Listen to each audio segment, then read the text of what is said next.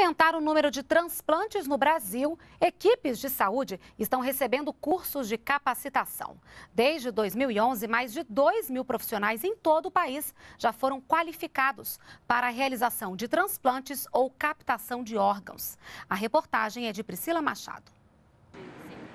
Dailson tem 34 anos. No ano passado, levou um susto ao voltar de férias. Descobriu que estava com insuficiência renal.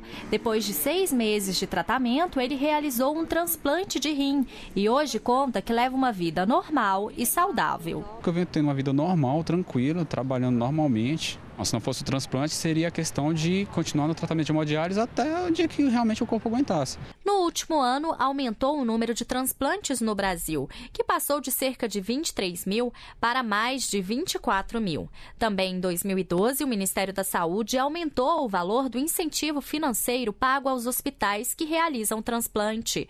No total, foram 217 milhões de reais.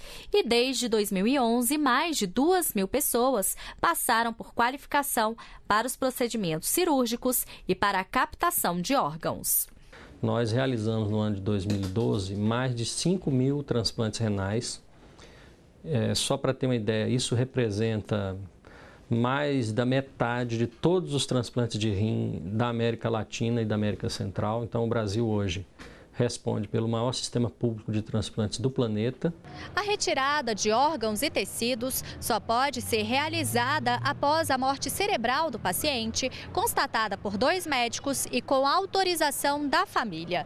Por isso é tão importante que os profissionais de saúde estejam preparados para a identificação e abordagem dos familiares dos potenciais doadores.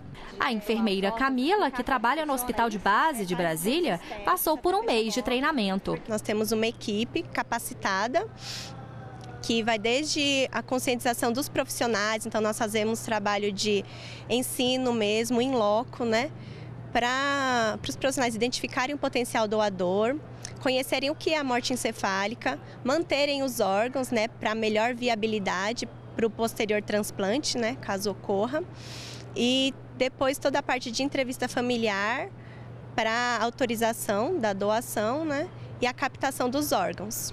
Todos os profissionais envolvidos com transplantes, como médicos, enfermeiros, assistentes sociais e psicólogos, passam por capacitação. As capacitações acontecem para preparar as pessoas para abordar as famílias na hora do, da doação de órgãos e também capacitações para cirurgiões de transplantes aprenderem a fazer transplante, tanto de fígado quanto de rim, de coração, de pulmão, não é?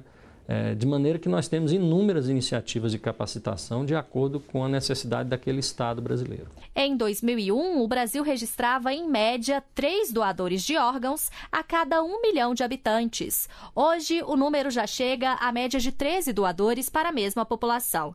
Em países europeus, o número chega ao patamar de 21 doações por um milhão de habitantes. Você vai estar salvando uma vida, né?